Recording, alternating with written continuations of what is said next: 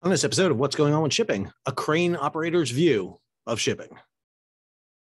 Hi, I'm your host, Sal Mercogliano, chair of the Department of History, Criminal Justice, and Political Science here at Campbell University, former merchant mariner and an instructor in maritime industry policy at the U.S. Merchant Marine Academy. So there was a story out from Insider, used to be Business Insider, and it's been making its rounds about some videos of a crane operator, container crane operator, moving boxes. And I thought I'd take this video, take a chance and break down that video and talk about what's going on in it.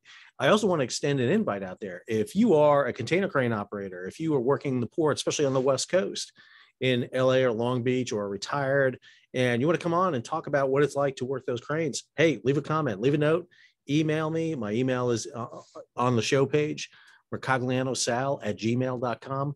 Feel free, love to get some of that firsthand perspective of what it's like to work out there. But let's get into today's episode.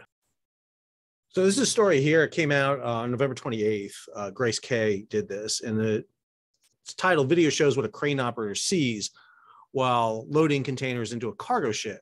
And it's got a couple of images right here, but the real heart of this is down here in the body of it. But I do want to make a couple of notes here. One of the things they talk about here is the role is precise and physically demanding, requiring operators to move at least 25 containers per hour. We'll talk about how long it takes to move these containers on and off a vessel because that's one of the big constraints we're seeing right now. Come down here. This is the first of two videos they have on here. I got the volume on here, so I'm gonna go ahead and let this roll. What you're seeing here are these gantry cranes or these portainers. These are the large gantry cranes that are being used. This is the SSA terminal. I think this is in Long Beach. They said it's either Long Beach or Seattle. Uh, this looks like a potentially a Zim vessel along the, uh, the dock right here. And we'll take a look at it. So these large gantry cranes right here, you see they're on tracks and they'll move side to side and they ain't they line up on the cells and they're used to offload a cell. So let's go ahead and let this roll. Okay, so we're going to be going to work here in just a little bit heading up in this big crane, and uh, we'll be talking to you soon. So one of the things that uh, he talks about here is the process. Now, this is pretty high up. You're about 100 to 150, 200 feet, depends on the crane. Now, these cranes are designed to handle certain size vessels. Because of the height and the reach of the cranes, this deals with the width of the container ships. And one of the things that's really important is as container ships get bigger, not all cranes can handle container ships.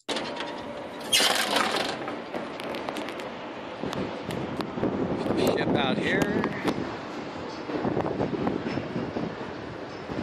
Little shaky video. So. Okay, there's my operator's cabin right there. That operating cabin rolls forward. It's right above the crane that picks up, uh, excuse me, the spreader bar the that picks up the containers.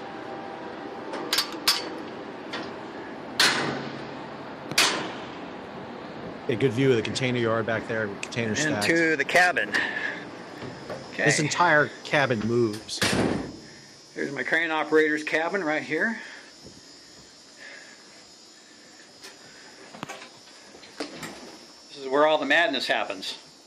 You'll notice the seatbelts right there to be strapped in, leaning forward quite a bit. You need a comfortable chair. You're sitting there for quite a long period of time. Right here on all these controls. and here's my view outside. So, anyways, um, got to get ready to go.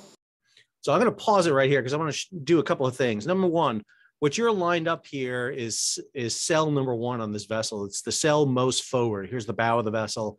Here is the forward cell. Now, a couple of things to notice here, and this is fairly typical. You'll see a mix of 40, 45, and 20 foot containers right here. So these smaller boxes right here, you'll see in cell one and also here in cell two, those are 20 foot containers.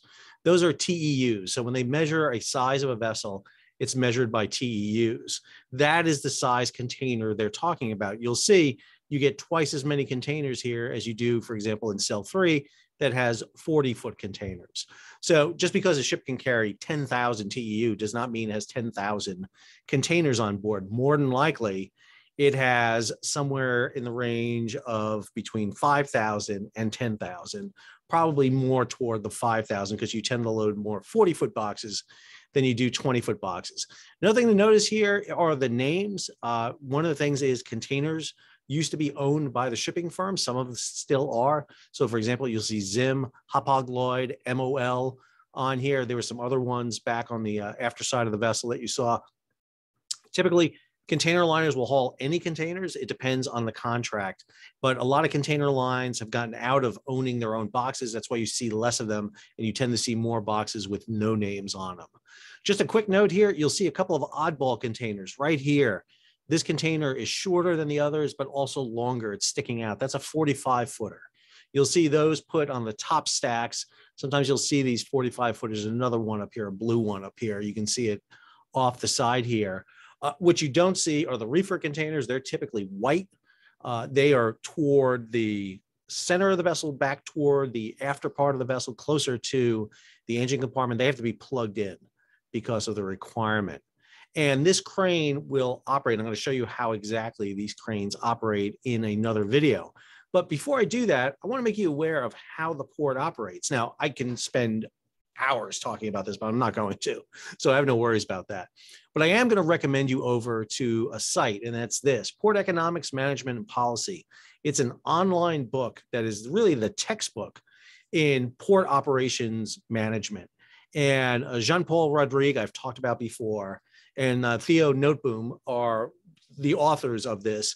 They have done an interactive book. You can get a hard copy of this book, but you can also get the interactive. It is online, free for you to go get to it. And one of the things they have in here is uh, an entire book. And if you look at the contents, they talk about uh, port and maritime shipping, contemporary ports, port terminals, governance, competition, performance, policies, development, markets, and case studies. This is chapter 3.4 container terminal design and equipment. So, for example, it talks about the layout of container terminals, talks about the equipment. So, for example, I talked about the portainer or ship to shore crane. That's what this is here. It's interactive. You click on the pictures and boom, here they come. You get a great little uh, ex- explanation about it. You'll see, for example, that these cranes come in different size. Panamax, they can go out 12 to 13 rows, all the way to ultra post Panamax, 23 to 24 rows. And understand one of the things that's happened with container ships, and I believe I have an image here. Yep. Is as container ships got bigger, when we hit the post Panamax, we hit vessels of about 300 meters in length. That's about almost 900, almost a thousand feet. The ultra large container ships, ships like Ever Given, are 400 meters, 1,300 feet. In truth, the length isn't the problem. Actually, the longer a container ship, the better it is to load and offload because you can get more port gantry cranes up against it. The problem becomes the width of the vessels. You'll notice here in post Panamax, you're looking at vessels that have about 17 bays. They're about 15 cells across and nine above the main deck and five below deck. Those 17 bays, those are those rows I was talking about. And you'll see as you get bigger, you get more and more bays until you get down here at the very bottom where you start getting into these mega container ships, 24 across with 24 bays. It's the 24 across that's the problem because it takes you a long time for your crane to cycle from the dock, lift up, and you got to lift up higher now because your containers are stacked higher. You're now 18 containers high as opposed to, for example, a Panamax that may be 11 or 14 containers high. And then you got to roll out all the way across the stack. That's what slows you up. And that's that's a big issue. But this chapter here, if you're really interested in, in, in understanding how it works, it does a great job. It shows you the, uh, uh, for example, the uh, the operation of cranes in the yard. This is from the Long Beach new terminal. This is the Long Beach container terminal where they have multiple stack cranes to be able to, once the containers are offloaded, they're put in these large stacks. And these large kind of gantry cranes, almost like Jenga, move in and sort the containers and pull the containers out necessary for the trucks to be loaded on. You'll see they're on these little bomb carts coming in. These are automated in the port of Long Beach. You will not see that in the video we're going to watch. So this is a really big, interesting element, and I really recommend this. This chapter again, it's all broken down here. You can kind of delve into this. It's got some of these great graphics. One of the this is a graphic for what happens as container ships get bigger. What are some issues associated with it? So you'll see right here, less ports able to accommodate. That's why we're going into LA and Long Beach. Reduction in ship call frequency, fewer ships come because the ships are bigger. Longer intra-port navigation. In other words, you're staying in port longer. Longer berth space and berth time. That's true. Reduction in crane productivity. Your cranes are not as effective as we'll, we will see here in a minute. Then showing the max size of container ships, more than 12,000. Those are the big ones. One of the things we saw happen here is on the United States is ports have gotten bigger, especially on the East Coast. There's been a big growth in the East Coast. Why Gene Seroka has been touting this issue about why has 10 of the 11 billion dollars recently been spent on East Coast ports? That is to accommodate these bigger vessels because the Suez, excuse me, the Panama Canal has gotten bigger. 2016, the new lane opened, and now you can bring vessels, Neo Panamax, 14,000 TEU vessels through, and these East Coast ports can now accommodate them. And you see that around the world. And then this talks about liner shipping uh, efficiency. It, it, talks about which ports are more efficient. The larger the yellow, the more efficient they are. You'll see here in China, in Asia, and actually in Europe, ports are much more efficient than they are in the United States, even though the countries are using them. US and China are the, some of the biggest users, along with the European states for it, but we are not as efficient. Let's uh, head back to the video here. So the second video they have here uh, a great one. And this is an operation from within the cab. So one of the things, and I'll go ahead and let the video play here and get some audio going here, is you're seeing the moment after you dropped a container off. This looks like potentially a Matson vessel. So here is the spreader coming up. It's extended out for 40 feet. And now it's cycling back. And what you're going to do is lower this back down and pick up a new container. You'll see the container here on one of the yard tractors. These are not tractors that go in and out the port. These are yard tractors. Gonna line up on the container You'll see somebody working down here to make sure that everything is correct. five, five, please. They're going to tell them where they need to go. You see the port tractor rolling out. These guides coming up here help you guide the corners of the spreader onto the container. You lock in on the four corners of the container. There's uh, turn bolts there that lock into the container.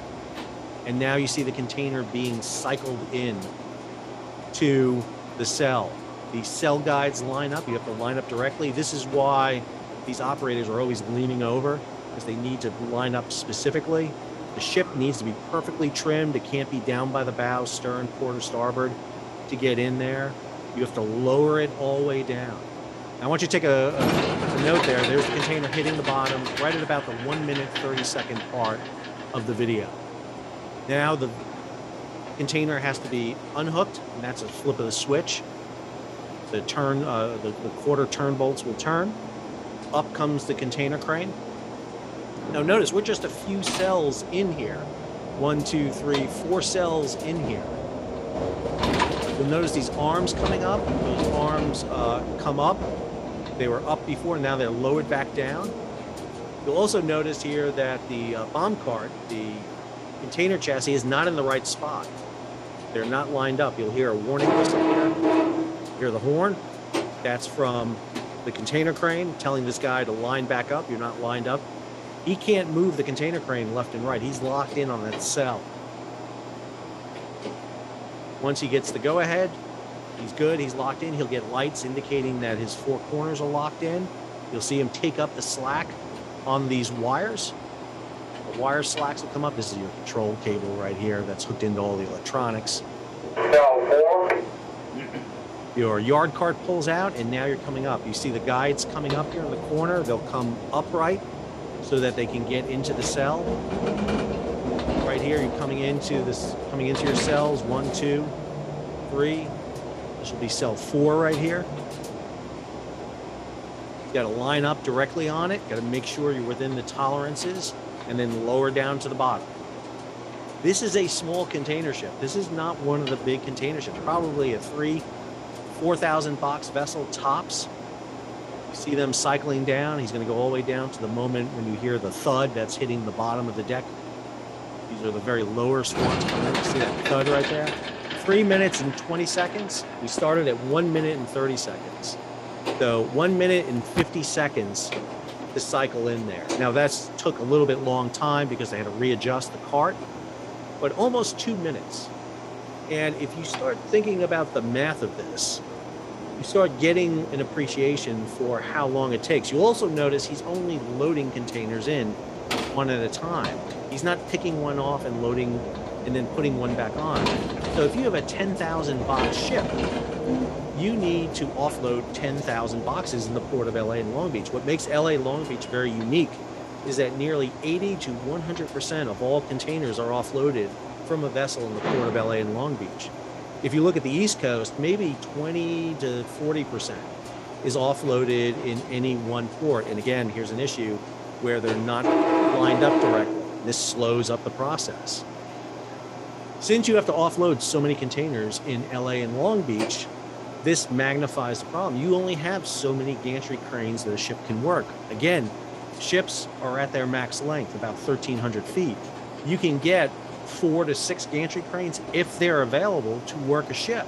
Oh, but as you get longer, as the ship gets wider and you got to go up higher, this could take not two minutes, but three minutes potentially, four minutes. And again, when you start talking about a 10,000 box container ship, let's do a little math here. Again, my degree is in history, not in mathematics.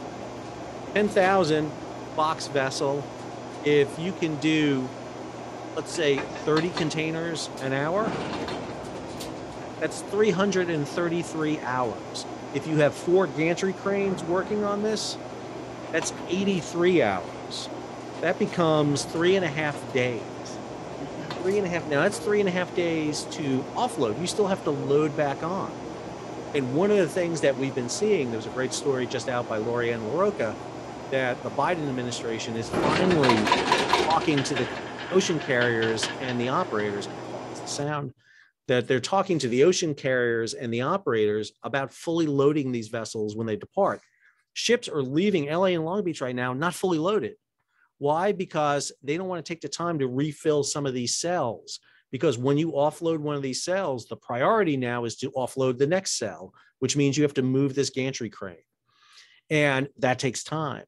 And if it takes you three and a half days to offload, it's going to take you three and a half days to load.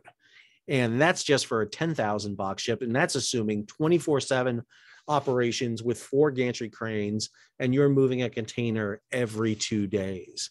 You get to see why this process is taking so long. This is not a fast and efficient process. I found the video really interesting. I hope you did too. I hope it gives you a little insight to what's going on on the offload of the vessels. This is just from the container crane operator. Once you get that container off and you load it on those yard carts, then those containers have to be stacked. There needs to be coordination with truckers coming in and railways. Still a lot of movement that needs to go on in the yard. But that's how those containers come on and off. It's a very interesting system. Again, those corners of the containers have those twist locks, and all it is is a twist lock that locks those four corners and allows you to lift those containers and drop them back on. When you reload the containers back on, when you go to the deck above the main deck, you are down in the cells, what we showed. But when you get up on the main deck, you have to still put straps on them. You have to put cross wires on them so that the containers don't fall off. If you ever played with Lego and you stack your Lego blocks single stack, they can fall apart. Usually, what you do is you block them like Lincoln logs. Can't do that with containers. So, what do you got to do? You got to cross stay them. But that takes time too. It takes more time to load a container ship than it does to offload. It's easier to throw those those stays off than it is to put them on. And that's one of the reasons we've seen ships leaving the port of LA and Long Beach not fully loaded. Lori-Ann LaRocca just had that report talking about the Biden administration is finally, finally talking about this, requiring these ships to leave the port loaded. Again, Port of LA and Long Beach can mandate this. They control the pilots, they can sit there and say, we're not going to issue a pilot until your vessel is fully loaded. What's happening here is the carriers and the terminals are pushing the vessels out. There are mechanisms of control here if the port and the federal government are willing to use them. I hope you enjoyed the video.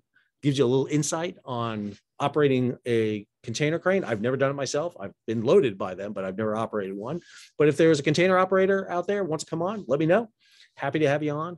Uh, one of the things I like to do is get some firsthand perspective out there for our viewers. If you like the channel, please subscribe. Hit the bell so be alerted about new videos when they get out. Share it across social media. Leave a comment. And if you can, if you can, contribute to the Patreon page. That allows me to spend the time and effort I need to do videos like this. So until our next video, the Sal, signing off.